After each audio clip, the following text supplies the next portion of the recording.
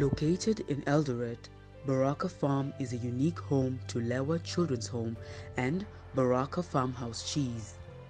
Baraka Farm was founded to provide food and revenue to support the orphans living at the adjacent Lewa Children's Home.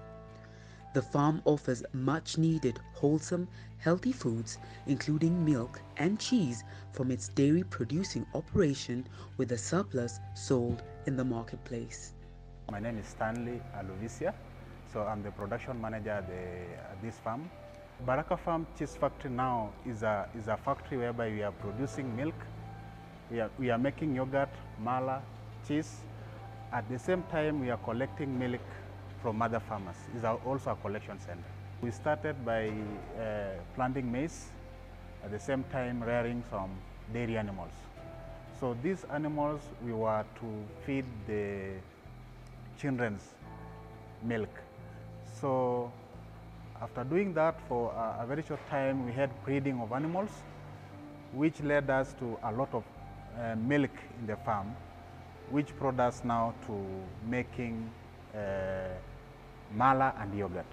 The quality and safety of raw milk are essential in producing high quality milk products. Milk quality control tests ensure that milk and milk products are safe, healthy, and meet the standards for chemical composition, purity, and levels of bacteria and other microorganisms. We normally have a lab whereby when we receive the milk from the platform, there are some certain tests we normally do. We normally do the lactometer reading, aflatoxins, antibiotics, uh, resazurin test, and also the organoleptic test. One of the leading products at Baraka Farm is cheese. Cheese is a very high protein food and one can take cheese with bread, rice, burgers and sandwiches.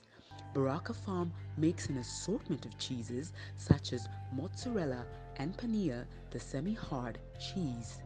For, for our production, we normally pasteurize this milk to around uh, 65 degrees.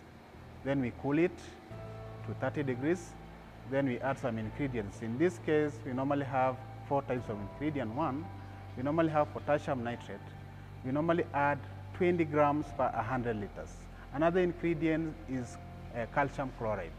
We normally add 25 grams per, per 100 liters.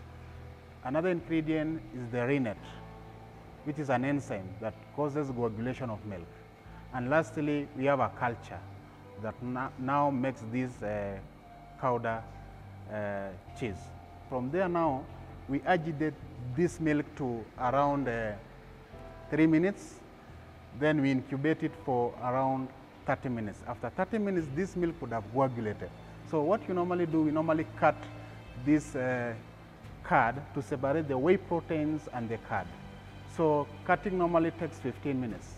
After 15 minutes, for example, if you have 1,000 liters, we normally remove around 250 liters of whey proteins. Then we add hot water, which is around 55 degrees.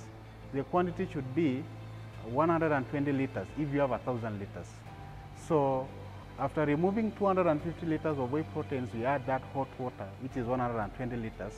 So this hot water will now increase the temperature of the curd. Remember, when we were adding ingredients, it was around 30 degrees.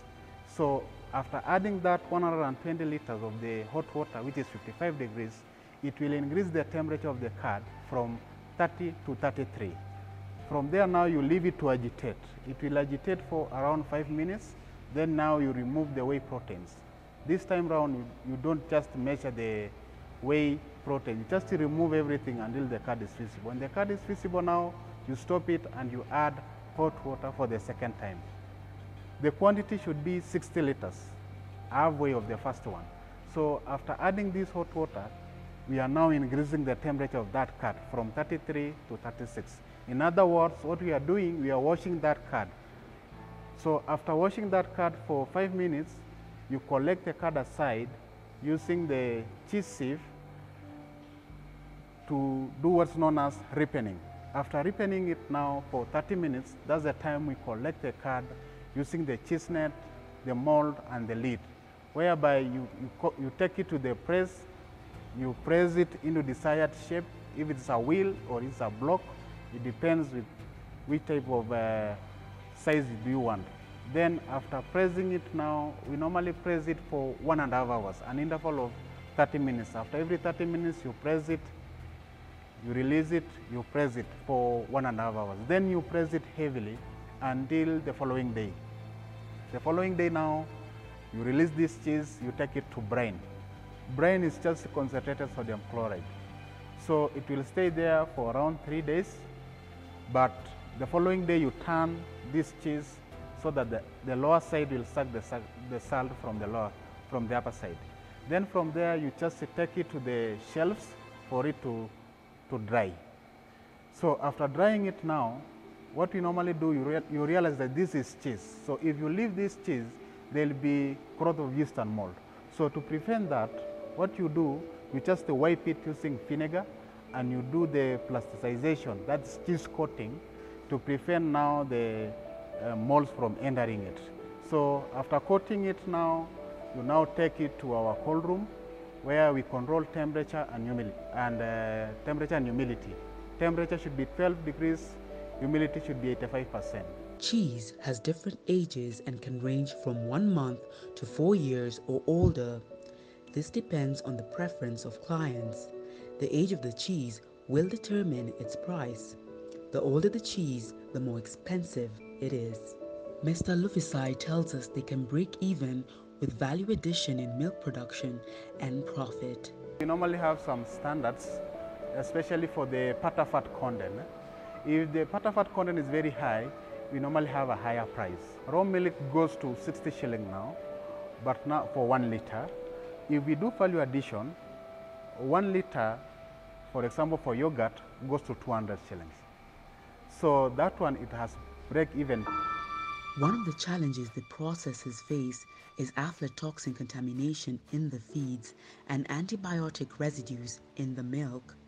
Baraka Farms is working with farmers to train them on feeding their livestock with aflatoxin-free feeds and urging them to observe the withdrawal period after treatment.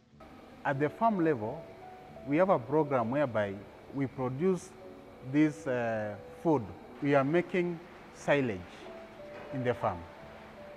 Another thing, we are making uh, dairy milk in the farm and also breeding. So we have a certain number of animals. When these animals go, maybe goes to drying, another one is parturating. Apart from making profits, Baraka Farm is working towards ensuring sustainability by producing feeds for the animals and reducing gas emissions by converting cow dung waste to biogas used as fuel on the farm. There is a silo there whereby we produce a biogas. This biogas is normally used to, uh, as a fuel in the farm. Besides working with farmers, Baraka Farm works with regulators like the Kenya Dairy Board to ensure Kenyans consume safe milk products. Dairy Board, what they normally do actually is to see the quality of this milk. Is this milk fit for human consumption?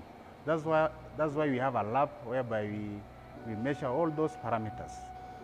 Also the equipments. Uh, these equipments fit for maybe for, for processing.